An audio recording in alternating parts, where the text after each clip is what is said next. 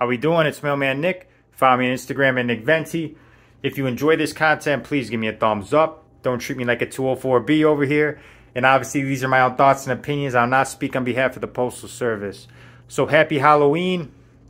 Uh, what's nice about having a walking route during Halloween is that a bunch of people will see you and give you some candy, some drinks, non-alcoholic. Well, you know, they try to give you some alcohol, but obviously uh, we can't take it.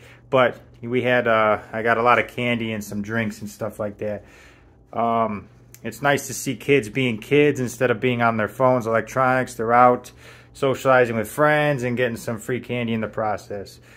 Uh, you know, today was not too bad. I, I got into penalty because a little bit into my route, I got a, a text on the scanner saying, hey, Nick, call the office. So I called the employee line. They said, go help out City 44. I took I took 45 minutes off him, but we had the blue coupons and we had a political run and, uh, you know, some more political than DPS. So it was, it was, uh, things were heavy. I had nine trays of DPS and other than like the blue coupons, the mail wasn't too bad and I still had nine trays. That just shows it was, uh, you know, one of those days. And then I had 45 minutes on 44, City 44 and then my route's obviously overburdened.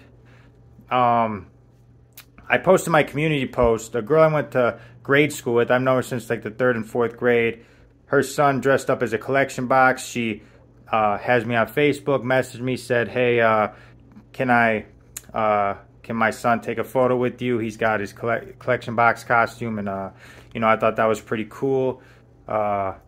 She's she's on my route. I got at least a, uh, four people on my route. I went to high school with, grade school with, because I grew up in this in this area. So that's kind of nice too.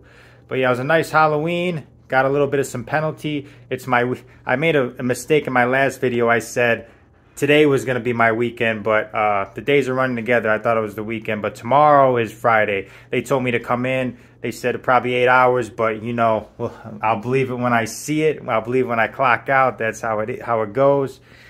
And uh, you know, let's get this money.